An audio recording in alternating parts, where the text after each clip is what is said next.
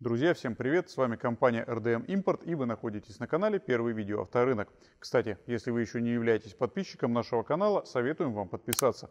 На нашем канале вы найдете большое количество интересной и полезной информации, связанной с автомобилями, в том числе и обзоры на машины, как в формате тест-драйвов, так и в формате обзоров технических, где мы подробно разбираем особенности тех или иных бэушных машин, рассматривая их снизу, на подъемнике.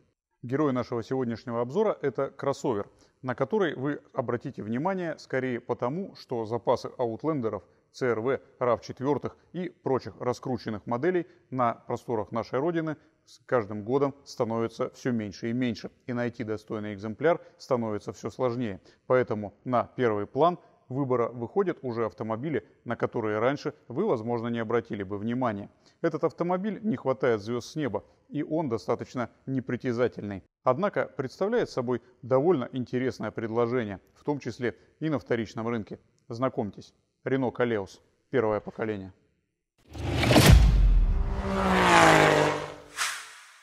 Первое поколение этого автомобиля стояло на конвейере с 2007 по 2016 годы. Машина пережила два рестайлинга. Первый случился в 2011 году, второй в 2013. Что касается заводов, где эти автомобили собирались. К большому удивлению, эту машину собирали в Южной Корее, в городе Пусан, на заводе Renault. Позднее уже рестайлинговые автомобили попадали на рынок, будучи собранными на российском заводе «Автофрамос». Агрегатная база Калеуса не блещет разнообразием. Покупатель мог выбирать из двух вариантов двигателей – бензин либо дизель. Бензиновый двигатель объемом 2,5 литра, мощностью 171 лошадиная сила. Дизельный агрегат был двухлитровым, мощностью 150 лошадиных сил. Право выбрать тип привода автомобиля было положено только людям, предпочитающим бензиновые варианты – передний либо полный. Дизельные автомобили были безальтернативно полноприводными. Что касается коробок передач, механическая шестиступенчатая коробка предлагалась для базовых версий как бензиновых, так и дизельных автомобилей. А вот версии без педали сцепления отличались. На бензиновых автомобилях стояла вариаторная трансмиссия, а на дизельных обычный классический гидромеханический автомат. В самом начале мы сказали, что компания Renault использовала агрегатную базу Nissan. И это действительно так. Ближайший кровный родственник этой машины Nissan X-Trail в кузове NT31. Однако, в отличие от X-Trail, Koleos имеет ряд своих специфических фишек. В том, что касается салона, он больше похож на минивэна. К услугам пассажиров в данном случае откидные столики на спинках передних сидений, маленькое зеркальце в потолке для наблюдения за задним диваном, а также разрезная пятая дверь, которая имеет достаточно удобный для погрузки борт. Соответственно, на этом автомобиле вы можете выезжать на пикники. Вот вам столик, вот вам скамеечка и вот вам крыша над головой. Также можно сказать, что если Nissan X-Trail для концерна Nissan был моделью, скажем так, среднего уровня, то Renault Koleos для концерна стал автомобилем, если и не премиальным, то, по крайней мере, флагманским. Что касается шумоизоляции и ездового комфорта, Renault Koleos достаточно интересный автомобиль, который скорее понравится любителям неспешного, безопасного и комфортного передвижения, чем гонщикам. Наш конкретный экземпляр 2008 года выпуска. Это дорестайлинг с 2,5-литровым бензиновым двигателем, полным приводом и вариаторной трансмиссией. Давайте разбираться, какие нюансы нужно учитывать при выборе подобного автомобиля. По традиции в начале обзора поговорим о кузове автомобиля, о том, насколько хорошо он окрашен, какова толщина лакокрасочного покрытия и насколько хорошо он сопротивляется нашим дорожным реалиям. Что касается толщины ЛКП, у Renault Koleos она во многом стандартная. Показания толщиномера на этих автомобилях лежат в пределах 100-150 микрон. Если больше, скорее всего, этот элемент подкрашивался. Что касается качества самого ЛКП, оно здесь достаточно неплохое. Сколы и царапины, само собой, появляются, особенно в местах повышенного сколообразования, таких как кромка капота и кромка крыши. Как правило, цвести они не начинают. Однако, осматривая подержанный Renault Koleos, обратите внимание на те места, где появление ржавчины на этих машинах наиболее вероятно. К ним относится передняя кромка крыши, особенно в местах стыка самой крыши с боковыми молдингами рамки боковых окон, краска на них бывает вспучивается. Правда, не повально и далеко не на всех машинах. Также следует с пристрастием осмотреть на предмет коррозии боковые двери автомобиля. Ржавчина на этих автомобилях появляется не только в традиционных для всех местах, таких как нижняя кромка дверей, но и под уплотнителем двери по верхнему краю, подобно тому, как это происходило на старых 210-х Мерседесах. Также внимательно осмотрите на предмет очагов коррозии пороги автомобиля и задние арки. Стоит также отметить, что периодически на Renault Koleos, однако достаточно редко, можно наблюдать очаги коррозии и на нижнем торце верхней половины пятой двери. Также при осмотре снизу обратите внимание на состояние переднего подрамника. К сожалению, подрамник на Renault Koleos этой генерации не отличается повышенной стойкостью к коррозии, так же как и на Mitsubishi Outlander XL с двигателем 3 литра. Подрамники чаще гниют на тех автомобилях, где установлена дополнительная защита днища. В целом, какой-либо логики между возрастом, пробегом и состоянием подрамника здесь нет. Каждый случай индивидуален. Если вам повезло и вы купили колеус, где на подрамнике еще нет очагов коррозии, не поленитесь потратить немного денег и обработать его защитным составом. Это сэкономит вам время и деньги на поиск контрактной запчасти.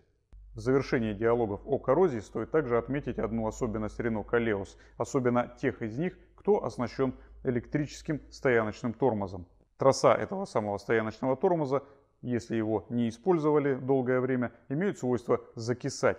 И восстановить их, как правило, не удается. Соответственно, здесь замена только на новые тросики. Причем этой проблемы практически лишены автомобили самой базовой простой комплектации, которые имеют в своем распоряжении обычный ручник. Так что если вы смотрите колеус с электронным стояночным тормозом, проверьте его работоспособность. Итак, теперь посмотрим, что нас ждет под капотом подобного кроссовера. Двигателей, как уже было сказано, здесь могло быть два – бензиновый либо дизельный, без особых вариантов по литражу и степеням форсировки. Что касается дизеля, вначале скажем пару слов про этот мотор, поскольку не сказать про него, говоря о Калеосе, было бы неправильно.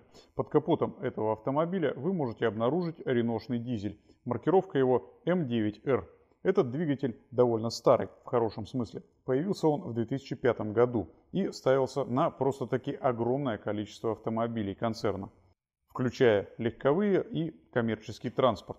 Правда, для коммерческих автомобилей этот мотор был дефорсирован. Мощность этого турбодизеля порядка 150 лошадиных сил. Также встречались, в том числе и на колеусах, на рестайлинге версии, форсированные до 170 плюс лошадок. Что касается особенностей этого мотора, дизель М9Р это четырехцилиндровый рядник. Блок цилиндров здесь чугунный. Это обозначает ремонтопригодный. Данные двигатели великолепно капиталятся, однако необходимость сделать это наступает, как правило, достаточно поздно. Головка блока цилиндров выполнена из алюминия. 16 клапанов, 2 распредвала. Гидрокомпенсаторы на дизельном двигателе присутствуют, поэтому лазить за регулировкой зазоров клапанов на этом автомобиле вам не придется. Привод ГРМ выполнен цепью. Заявленный ресурс порядка 150 тысяч километров пробега, однако на практике встречаются дизельные машины с пробегами за 250-270, где родные цепи еще не демонстрируют признаков растяжения, поэтому в данном случае все зависит от эксплуатации. Из элементов, усложняющих конструкцию двигателя, можно отметить разве что турбину с изменяемой геометрией, которая присутствует уже на всех колеусах. К чести конструкторов Renault Стоит отметить, что дизельный двигатель на Калеосе имеет маслофорсунки для охлаждения поршней. Ресурс этого мотора при правильной эксплуатации, при условии использования качественного горюче-смазочного материала, превышает 500 тысяч километров пробега. Вдумайтесь в эту цифру. Это очень и очень много. На практике есть машины, которые проезжали порядка 270, 300, 350 тысяч километров без каких-либо проблем при условии регулярной смены масла, а для турбодизеля регулярно это раз в 7000 км пробега, и использования к слабым местам этого дизельного двигателя можно отнести пьезофорсунки, очень чувствительные к качеству топлива. Если вы плюхнете сюда не пойми какой соляры, вполне можно приехать на ремонт одной или нескольких форсунок. Хотя, скорее всего, вам придется их менять. И это не бюджетно, как и для любого дизеля с системой впрыска Common Rail. Также в ходе эксплуатации дизельной машины нужно помнить о том, что в периодической чистке нуждается клапан EGR, а также в периодической замене нуждается сажевый фильтр. Если вы будете следить за этим двигателем и не допускать растянутых интервалов замены масла, вы действительно проедете на нем 300, 400, 500 тысяч километров. К относительно слабым местам этого двигателя также можно отнести маслонасос, который, как правило, выходит из строя по причине очень длинных интервалов замены масла либо использования масла очень низкого качества и тянет за собой вкладыши, которые может и провернуть, что повлечет за собой достаточно недешевый ремонт. А также демпфер шкива коленвала, который подлежит замене просто потому, что отработал свой ресурс. Как правило, это случается на пробегах за 250 тысяч километров. Так что двигатель надежный. Если вы не боитесь дизельных моторов, то Renault Koleos с дизелем M9R будет, пожалуй, довольно интересным выбором. Ну а если дизель не для вас, тогда поговорим о бензиновом агрегате. Конструктивно этот двигатель 2TR703, он же QR25DE, представляет собой рядную четверку с алюминиевым блоком. Здесь два верхних распредвала, 16 клапанов, которые, кстати, в отличие от дизеля, не имеют гидрокомпенсаторов зазоров, поэтому зазоры должны регулироваться вручную подбором толкателей. Каждые 50 тысяч километров пробега. Привод ГРМ здесь цепной. Цепь это выхаживает порядка 150 тысяч. На практике же бывают случаи, когда машина проехала и все 200, и признаков растяжения еще незаметно. Смотрите по ситуации. В каждом случае это индивидуально. Из элементов, усложняющих конструкцию двигателя, в данном случае можно отметить разве что фазовращатель. Причем он отличается завидной надежностью. Каких-либо проблем муфта изменения фаз газораспределения на этом двигателе подкидывает редко. Основная проблема этого двигателя – это масложор, который может вызывать как проблема с поршневыми кольцами, которые могут залегать в случае, если предыдущий собственник злоупотреблял крайне длинными интервалами замены масла и лил, что попало. Также на возрастных машинах имеют свойство от времени дубеть маслосъемные колпачки, что также вносит свою лепту в расход масла. Поэтому при покупке Калеуса обязательно проверьте, дымит или не дымит двигатель. И в случае чего будьте готовы к непредвиденным расходам в виде замены колец и колпачков. Благо двигатель этот ремонтопригоден. Что касается каких-либо типичных проблем для этого двигателя, можно отметить парочку. Практически любой QR25DE, он же 2TR, который вы будете смотреть на автомобиле с пробегом за 100 тысяч километров, будет иметь запотевание на лобовине, то есть на крышке, прикрывающей цепи ГРМ. Это нормально. Если это еще не перешло в глобальную течь масла, лезть и обновлять герметик на лобовине не нужно. Совместите это потом с заменой цепей. Помимо прокладки клапанной крышки, на этих двигателях также любит подтекать маслом маслоохладитель, расположенный по правой стороне двигателя. Двигатель здесь расположен поперечно, не забываем об этом. Увидеть эту течь можно при осмотре автомобиля снизу, на подъемнике. Комплект прокладок маслоохладителя хоть и стоит не так дорого, однако менять его сами вы вряд ли будете. Соответственно, за эту работу вам придется отдать деньги. Эксплуатировать автомобиль с подтекающим с маслоохладителя маслом можно – но лучше эту неисправность устранить. А еще лучше, чтобы ее не было сразу при покупке. В общем и целом 2 TR703, он же QR25, достаточно надежный по современным меркам двигатель. Самое главное, не прикупить его уже в полумертвом состоянии. А для этого нужно сделать тщательную диагностику выбираемого автомобиля. При условии регулярной смены масла, также желательно раз в 7-8 тысяч километров, не реже, и использования качественных горюче-смазочных материалов, этот двигатель проедет 250 тысяч километров, а может быть даже больше. Подытоживая разговор о силовых установках Renault Koleos, можно отметить следующее. Оба двигателя достаточно надежны, но оба мотора не прощают экономии на качественных горюче-смазочных материалах и длинных интервалов обслуживания. силовыми установками Renault Koleos мы разобрались. Теперь поговорим о коробках передач. Шестиступенчатая механика могла ставиться как на бензин, так и на дизель. Сама по себе коробка беспроблемная. Ресурс узла сцепления порядка 170-200 тысяч километров пробега при нормальной эксплуатации. Если же человек не вполне понимает, что он делает с механической коробкой, либо использует этот автомобиль на бездорожье, причем достаточно часто и активно, этот ресурс, соответственно, можно сократить практически вдвое. Самое неприятное, с чем можно столкнуться при обслуживании механической трансмиссии Колеуса, это замена двухмассового маховика. Просто из-за его стоимости. Двухмассовый маховик стоит недешево. И при выходе из строя его придется либо ремонтировать, либо менять на, возможно, бэушный. Ну вот, пожалуй, и все, чем может быть неприятна механическая коробка. Что касается коробок передач без педали сцепления. На дизельных машинах и только на них стояла шестиступенчатая автоматическая трансмиссия. Обычный гидромеханический автомат, довольно-таки скорострельный, надо отметить. Эта коробка не имеет каких-либо врожденных болячек и прекрасно отхаживает пробеги до 300 тысяч километров включительно, при условии регулярной замены масла. Замена масла в автомате производится раз в 60 тысяч километров, соответственно с заменой фильтров. Но если вы рассматриваете к покупке бензиновую машину, то обычный автомат вы на ней уже не встретите. На вашем автомобиле будет установлен вариатор фирмы Jatco, модель GF011. К моменту, когда эта коробка попала на Renault Kaleos, практически все детские болезни этой трансмиссии уже были вылечены. Вариаторы на самом деле при нормальной эксплуатации, то есть если вы не гонщик, вы не используете Kaleos для постоянных стартов газ в пол и не лазите на нем по вспаханной целине вслед за каким-нибудь Pajero спортом или подготовленным УАЗом, то вариатор также способен выходить у вас порядка 200-250 тысяч километров до ремонта. Однако менять масло в этой коробке вам придется намного чаще, чем вы делали бы в автомате. Рекомендованный интервал замены масла с фильтрами в этой коробке будет порядка 30-40 тысяч километров пробега. В этом случае вы можете рассчитывать на большой ресурс.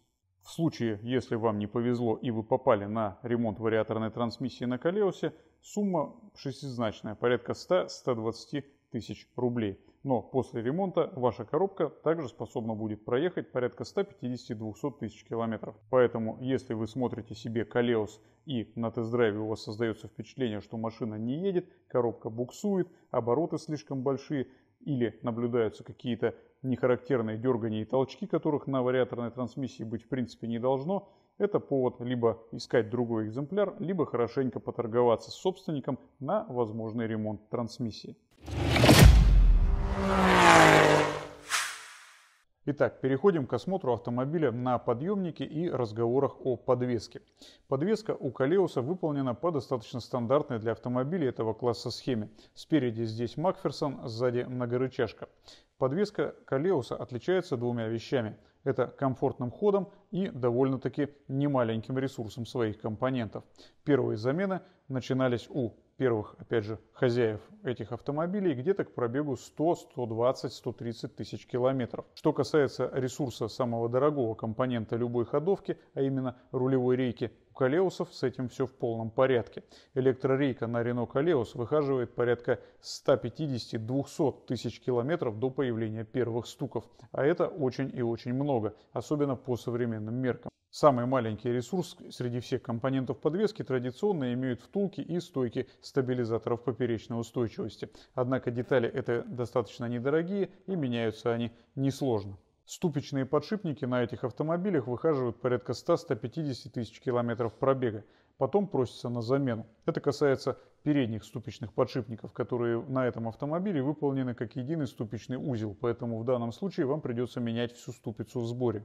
Не будем заострять внимание на таких мелочах, как рулевые тяги, рулевые наконечники и сайлент-блоки, допустим, задних рычагов. Эти компоненты продаются в виде дублей, их достаточно много и цены на них весьма демократичные. Где-то к 150 тысячам пробега возможно запросится на замену сайлент-блоки подрамника. Это будет уже дороже. Кстати, не забудьте проверить сам подрамник на предмет наличия на нем сквозной коррозии. Какой-либо налет поверхностный это нормально, он может присутствовать, на эксплуатацию никак не влияет. Но если подрамник уже имеет значительные сквозные дыры, то его, конечно, лучше будет поменять. Что касается ресурса пружин и амортизаторов, он здесь достаточный. Скажем так, первая проблема не ранее, чем на 100-120 тысяч километров пробега. Опять же, все зависит от качества дорожного покрытия в том регионе, где автомобиль эксплуатировался. Задние пружины на этих автомобилях не склонны, например, лопаться, но они могут просесть. Если это случается, как правило, к пробегам хорошо за 200. Если вы смотрите Renault Kaleos и по ходовой части спереди вы слышите стук, а замена стоек стабилизатора не принесла никаких плодов, возможно, вам пора поменять сами амортизаторы. Или последний заключительный вариант, посмотрите на состояние опорников передних стоек. Они на этих автомобилях также бывает просятся на замену.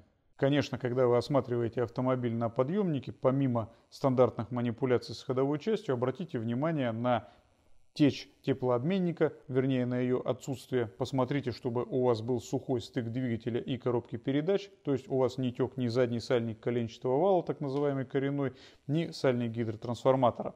Посмотрите на сухость сальников приводов, как передних, так и задних. Также осматривая автомобиль, обязательно проконтролируйте состояние пыльников шрусов. Особенно это касается пыльников э, шрусов внутренних. Если пыльник у вас оказывается порван, замените его как можно скорее. В противном случае в ближайшее время вам придется менять уже сам шрус. А это уже несколько другая арифметика. Что касается системы полного привода на Renault Kaleos, то здесь использована ниссановская схема, которую вы можете найти в частности на Nissan X-Trail.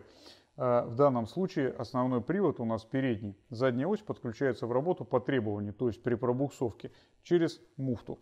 Муфту можно заблокировать принудительно, оставив машину в режиме 4WD Lock. В этом случае задняя ось начнет работать сразу. Однако этот режим выключится по достижении 40-50 км в час.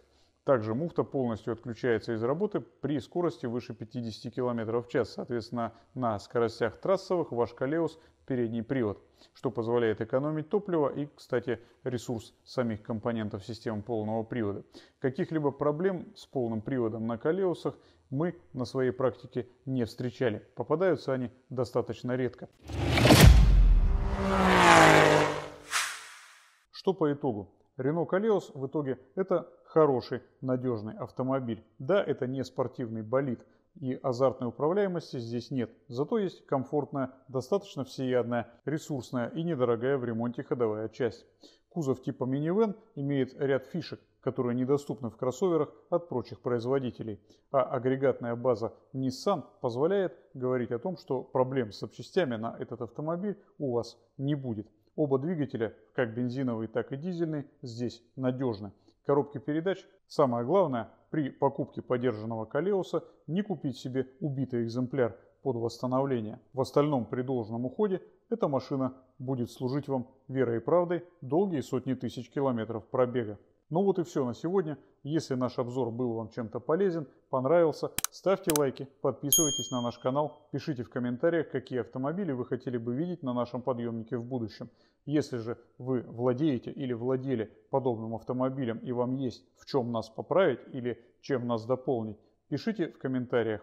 Людям, которые выбирают себе Renault Koleos, именно ваш комментарий может оказаться очень полезным. Спасибо за просмотр. Хорошего вам дня. Пока.